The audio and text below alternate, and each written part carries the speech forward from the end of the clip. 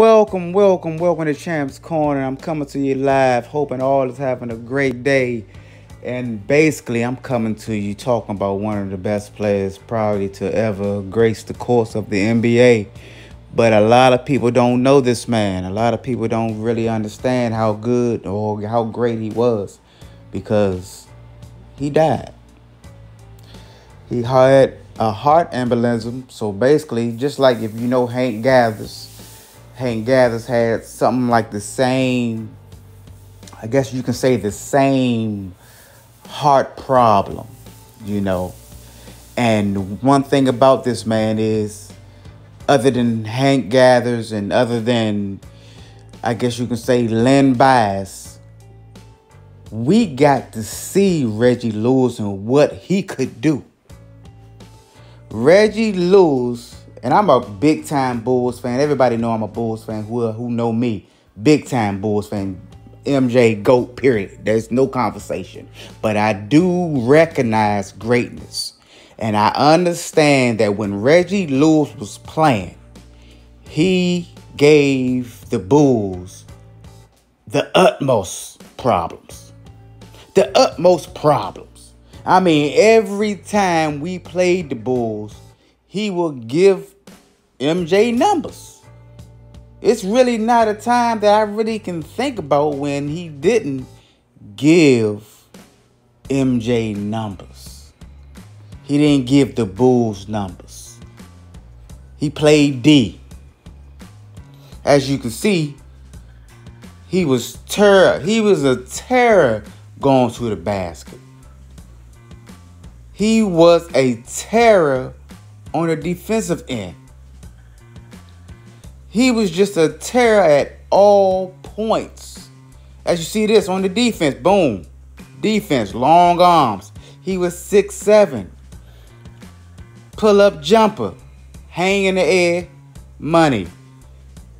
As you see, he under the basket, he can do. Reggie Lewis could do. Give me that.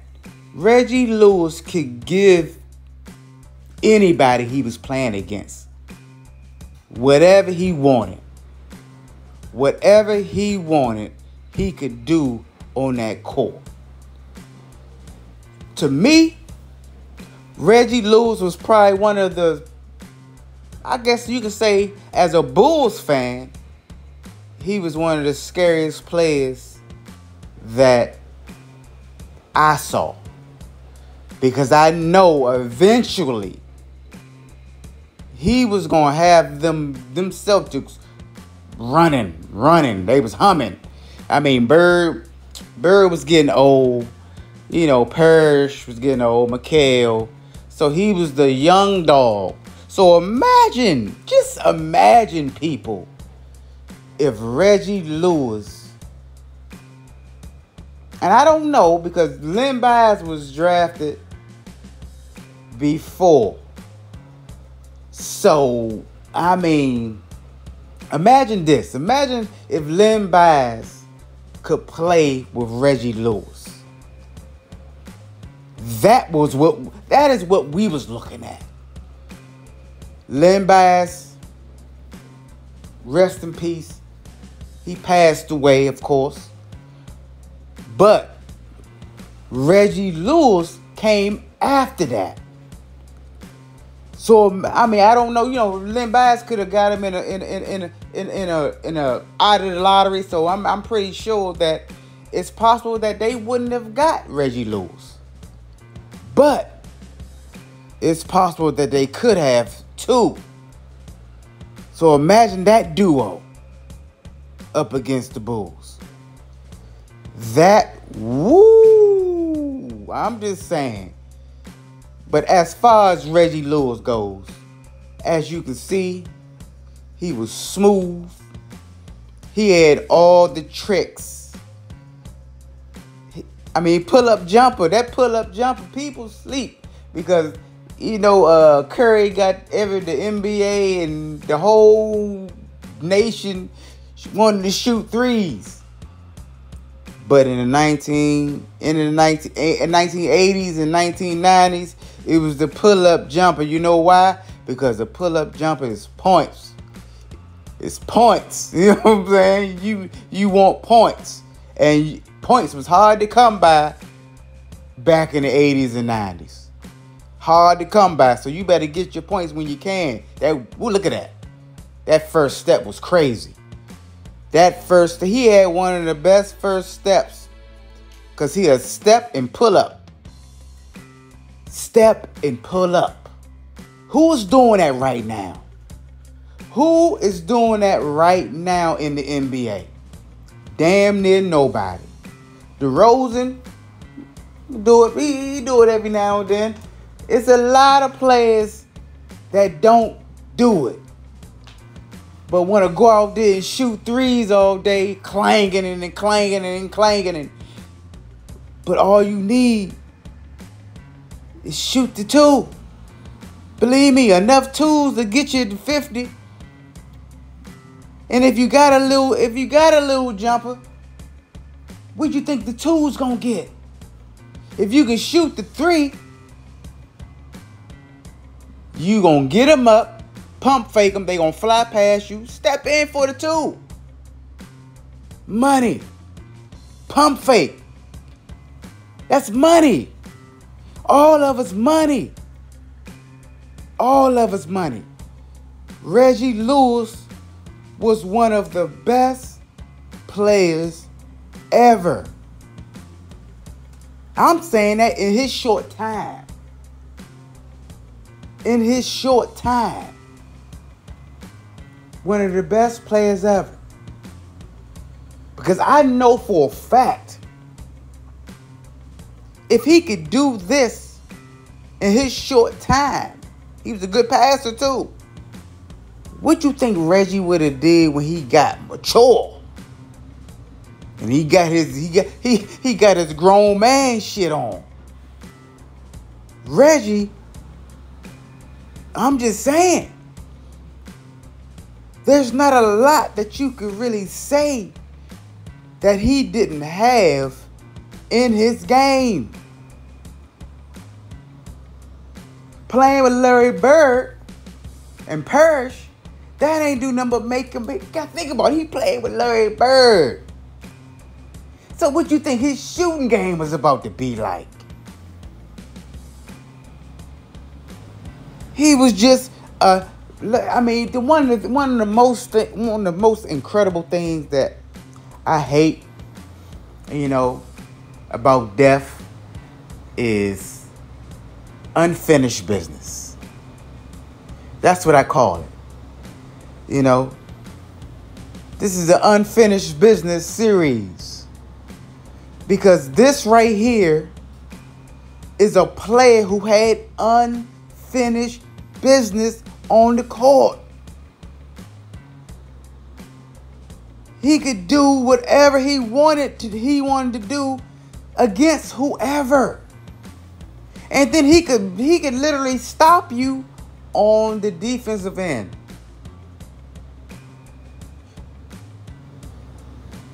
Everything he did had a purpose. Everything he did had a purpose. No wasted movement. Boom, boom. Got him. No wasted movement. One thing you have to admire about Reggie Lewis is he came from greatness. One of the best high school teams ever assembled led by Muggsy Bogues, Wingate, out of Baltimore. One of the greatest high school teams ever. Look it up. Look up Reggie Lewis. And he was, think about it is, he wasn't even the starter at one time on that Baltimore uh, on that Baltimore team. Look it up and see how great that that team was. But the thing about it is, and that's the thing that you know he was going to be great. He was coming off the bench on that team, but soon as he had a chance to get better and grow, he became the starter and became the man. What do you think Reggie Lewis was going to do in time with the, with the Boston Celtics? I mean, that was against MJ right there. What do you think he was going to do in time? All he needed was time.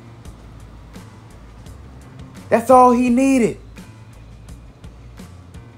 He was really dogging cats. It didn't matter who it was. He knew how to play the game. Give up the ball to Larry Bird. Cut. Get the ball back. Layup. That's just knowing how to play the game. So you add knowing how to play the game with somebody who's athletic, who can shoot, who plays D. Man, everything we everything that you want in a player Reggie Lewis had. The only thing you didn't know if he had, and only thing that time will tell is the dog. Only reason we know MJ had the dog in him is because time tell, told it. Time told it. You can see him when he got hurt in the second season. He came back and scored 63 on the Celtics. He led the he led the darn uh, uh, uh, Bulls to the playoffs. So you see, only controversy and, and, and losing and stuff like that can tell you who got the dog in them. But only thing we see here is we know he was a great player. Unfinished business. Sad to say, man. Look at that. He was he he was everything that you wanted in a player. Everything that you want to play. He is six seven. He's six seven, running around like mother Clay Clay, uh, uh, uh, uh, Klay Thompson or or, or, or Curry, six seven. Look at this. Elo, Elo was fouling them every step of the way. But he like, what? I'ma get you. Oh, spin, fade, Doherty, get out of there. He had everything. That's one thing that when I was watching Reggie Lewis playing up against my Bulls, the thing that I realized that he had was basically he didn't need the ball. He didn't need to have he didn't need to be dribbling all the time. He could run around, spot up, he was spotting up when people weren't even really spotting up back then. As far as six, seven, six, eight.